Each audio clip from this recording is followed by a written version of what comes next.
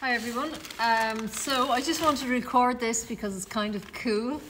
Um, it's uh, Danny Boy's last bottle of milk.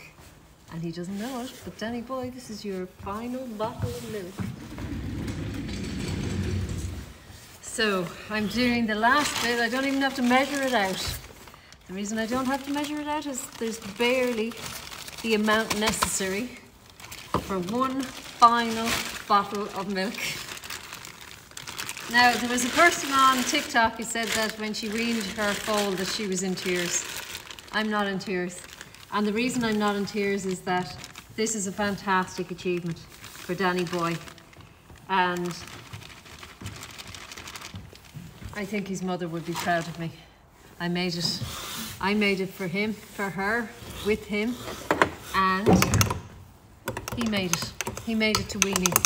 It was touch and go there for six or seven weeks.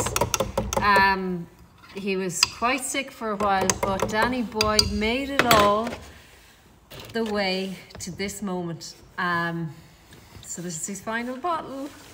I can't believe it. I'm so happy for him. I'm so excited about it because it's been achieved. It was a massive achievement because he was so sick. And um, I did it for his mother, Isis, and I know she would be proud of me for minding her little fella all the way to this moment. I know she would. She was my dream horse, my once in a lifetime. And now her baby boy has made it all the way survived the tough days and made it to this point. He, and this is his last bottle. So this is the last time I'll ever, you'll ever see me give him Danny Boy a bottle. This is the last moment. So there you have it. Danny Boy's been weaned and he's spilling this milk. God, he has loved his bottles and he's been a really good champion. He's he's fought for survival and he's thriving now. And he's doing exceptionally well and well done, Danny boy.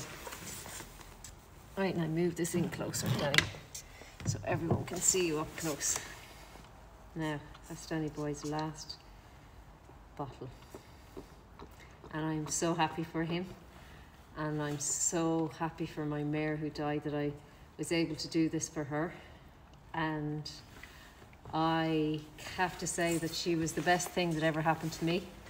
And I hope that this boy will, will make her proud as well. Please God, he will. So there are no tears being shed. It's just a spectacular moment. He made it this far. This is his last bottle. And that's it. He's gone all the way. Please God.